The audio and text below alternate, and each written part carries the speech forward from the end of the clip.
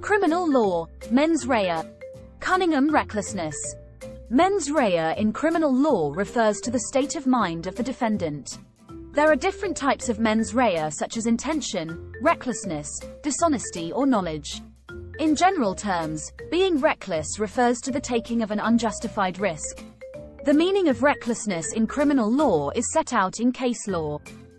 There are different types of recklessness depending on which offense is under consideration. Cunningham recklessness is a subjective form of recklessness and applies to all non-fatal offenses against the person which require recklessness. For offenses against property, the test established in RVG and R now applies. Cunningham recklessness derives from the case of R.V. Cunningham in 1957. The defendant's future mother-in-law told him that her neighbor was on holiday. He burgled the neighbor's house during the night. He ripped a gas meter from the wall in order to steal the money in the meter. This caused gas to escape. The gas seeped through small cracks in the wall to the neighboring property where his future mother-in-law was sleeping. She was overcome with fumes. He was charged under Section 23 of the Offences Against the Person Act 1861 with unlawfully and maliciously causing a noxious thing to be administered so as thereby to endanger life. The trial judge directed the jury that malicious meant wicked.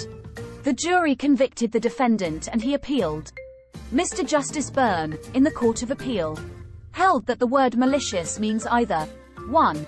An actual intention to do the particular kind of harm that in fact was done, or 2. Recklessness as to whether such harm should occur or not. He defined recklessness as where the accused has foreseen that the particular kind of harm might be done and yet has gone on to take the risk of it. The defendant's conviction was therefore quashed as he did not foresee that gas would seep through tiny cracks in the wall so as to endanger his fiancee's mother. Initially, Cunningham recklessness was applied generally whenever there was reference to reckless. However, in 1982 the House of Lords held that Caldwell recklessness should be applied to cases under the Criminal Damage Act 1971. Caldwell recklessness was later replaced with a more subjective test in RVG and R 2003. In RV Parmenter the defendant injured his baby son. He did not know that the way he was holding him could cause injury. It was held that Cunningham recklessness should be applied in all non-fatal offences against the person where recklessness formed part of the mens rea. The defendant's conviction was therefore quashed as he did not foresee a risk of injury. In summary, Cunningham recklessness is where the defendant foresees the risk of what occurred might occur and nevertheless carries on to take that risk. Cunningham recklessness applies to all non-fatal offences against the person requiring proof of recklessness.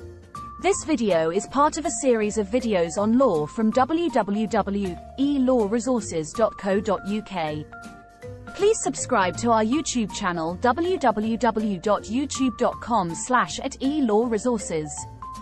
It's free to do so and will help us to keep providing these videos. Check out our website which provides lecture outlines and case summaries. See also www.elawrevision.org.uk for revision games and quizzes. Thanks for watching.